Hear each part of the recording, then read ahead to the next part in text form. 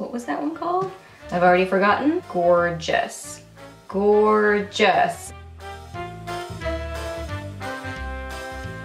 Hey guys, welcome back. So I've got a fun video for y'all today. I'm gonna run through my different BH Cosmetics baked palettes. A couple of you guys had asked for more information about these palettes and just kind of like to know my thoughts and which ones are my favorites. So I'm just gonna run through each of these, show you some swatches, and then just kind of give you my thoughts and let you know which ones are my favorites and just kind of show you my collection of BH Cosmetics baked products. So let's get to it. Okay, first I'm gonna run through the different wild palettes from them. There are a lot of wild palettes from BH Cosmetics. So first there's the Wild Child palette.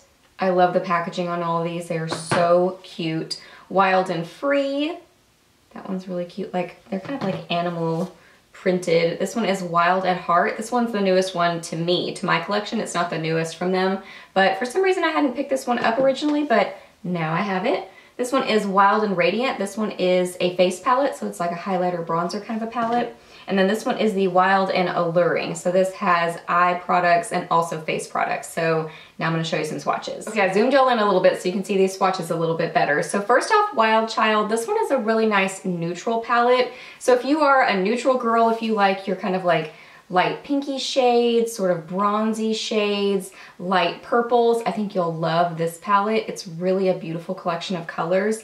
Now I did swatch these all dry. Just know that you can foil these and that makes them, e them even more intense. Usually what I do and what I did today is I will foil them on my lid and then I'll either like blend them dry or I'll use them dry in my outer corner all of the above, but pretty much I mainly just foil them on my actual lid. So just know that these can be foiled and these are swatched dry, but they are still beautiful dry. Just really gorgeous shades. So neutral girls, this one's probably your palette. And if you like colorful makeup, especially blues and greens, I think you'll really like the Wild and Free palette. Really cute packaging on this one too. These are some bright colors, like these are some intense blues in here, but there are also some neutrals. So I mean, if you like neutrals too, you do have some in this palette, but you can see, I mean, there are, you know, several blues and greens and teals and kind of light blue shades, and they are all really beautiful. I especially love that one in this palette. So gorgeous. But I mean, those bronzy shades are beautiful too. So that one was, what was that one called? I've already forgotten. That was Wild and Free. And if you like bright, colorful makeup that's more on the girly side, like pinks and purples, I think you'll really like the Wild at Heart palette. This one is definitely, I don't know, it has like an 80s feel to me, but I really love it. I don't know why I didn't get this one at first. I think I just thought I wouldn't wear it as much, which, you know, I probably won't, especially like the bright pinks. I don't wear pinks on my eyes a ton, especially really bright ones, but I do still think it's a gorgeous palette and it's just so fun. I mean, these are fun colors, but you could get a very neutral eye look with this, especially if you went for like some of the kind of more muted pinks and purples in here. So there are some definitely like neutral sided, neutral sided? There are the neutral side of these colors in this palette, but I mean, you've got some out there wabam sort of bright pinks and purples, and that one's kind of like a bluish sort of a purple there. So really, really pretty, but a bright, fun palette. And the face palette of the bunch is the Wild and Radiant palette. This one's really fun. This one, you'll see it in the swatches. These are pretty like very bronzy, really pretty orangey sort of bronzers. So I mean, they're definitely like those highlighting sort of bronzers. So what I will do is use these in conjunction with another bronzer. So usually a matte bronzer. Today I used it with kind of like a sort of a satin finish bronzer and just put just a, the tiniest little bit just to kind of give a little bit of warmth to my cheeks. But I mean, you can see they're pretty orangey bronzers, but the highlighters are really pretty. I do have this highlighter on the inner corner of my eyes today. So you could use these as shadow as well, or you can use them on your face, but I think it's fun palette. I still really like this one. Then this one is a little bit bigger of a palette, the Wild and Alluring. This is actually an eyeshadow and highlighter palette.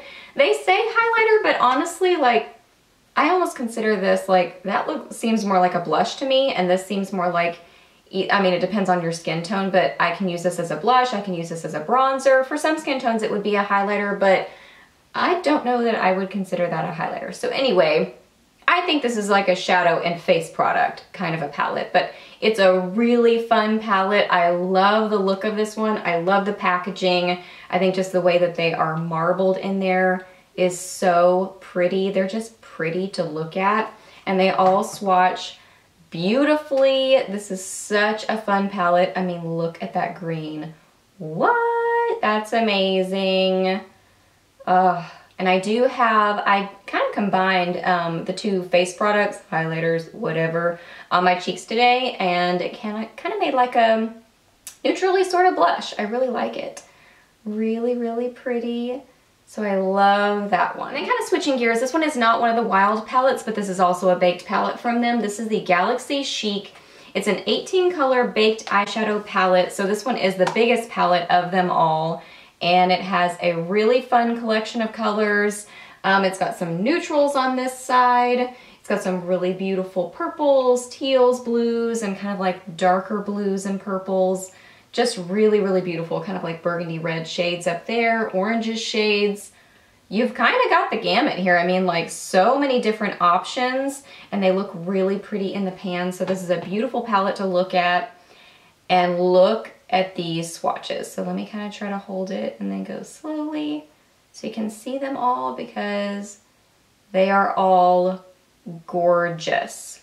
Gorgeous. Oh my gosh and I've used this one multiple times. Um, I'm wearing these on my eyes today, several of these, and I feel like this is a palette that you can make some really, really fun, bright, colorful, really like involved eye looks, but you can also go really super easy, neutral. Like today I just used this on my lid and then just a little bit of this one in my outer corner and on my lower lash line. So you can go neutral and easy with it, or you can do super colorful, and all kinds of involved with it. So really just a beautiful palette. This one, I mean, just swatches like incredibly well. So that wraps up all the swatches. So now to kind of narrow down my favorites.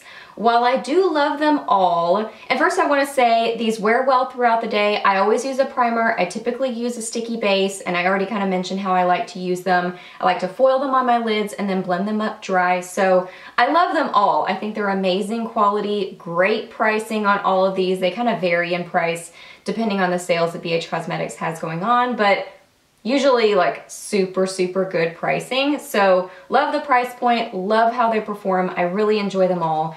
But if I had to narrow down, I would pick these two, the Wild and Alluring and the Galaxy Chic. I just feel like these have the most like color variety and they're the biggest of the bunch so they like, you know, just have more options for you in there. I think they're really pretty to look at. So if I could choose two, this would be, these two would be my choice. But if I could only choose one, it would be the Galaxy Chic, which I had heard so much buzz about this palette. I really hadn't heard anything negative, and I can see why, because it's just beautiful to look at, such a fun collection of colors. They swatch and perform amazingly well. And it's just a fun palette and a great palette. I think I paid like $12 for this and I absolutely love it. So this one's my number one pick, but if I could choose two, I would say these two. All right guys, so that wraps up this video. So I hope that you really enjoyed it and I hope it was helpful for you. Please send a thumbs up if it was and let me know down below what you think about their baked shadows. What are your favorite palettes from them? Even from other companies, like if you have other baked shadows from other companies that you love, let us know that down below. That's always helpful for everybody, I think. If you guys have any questions for me, just ask those. I'm happy to answer those. Please subscribe to my channel if you're not already, and I'll see you in my next video. Bye!